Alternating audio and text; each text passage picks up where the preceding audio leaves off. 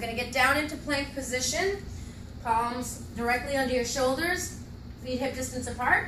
You're gonna step one foot to the outside edge of your hand, pressing off the foot, full foot firmly, and switching sides. You want your knee to stay at 90 degrees and your back leg extended.